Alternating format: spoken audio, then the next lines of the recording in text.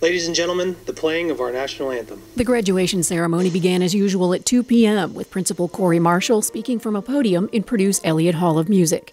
But the ceremony was pre recorded because of the coronavirus, and Harrison High School's 440 seniors, their family members, and friends had to watch online. This past two months, things have not gone the way we all expected.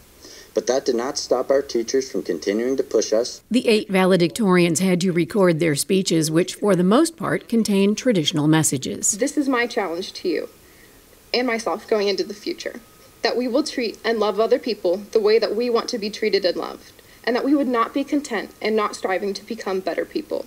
Whether we were terrified most of the way or screaming and laughing with joy, this roller coaster ride has made us all into the people we are now and the generation that will go out and do amazing things for the world. A fast moving video started off the graduation ceremony for McCutcheon's 380 seniors, followed by the class president and the choir.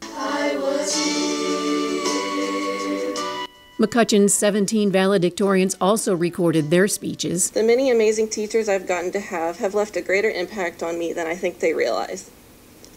I've also been able to meet some really special friends at McCutcheon. Four years ago, when I made the decision to go for valedictorian, I never thought it would be like this, but I'm grateful that we're making do with what we've got during these interesting times.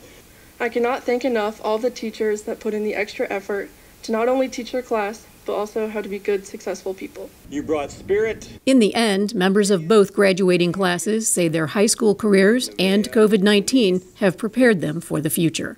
For Star City News, I'm Chris Morisse Vizza in Tippecanoe County. Palmatier.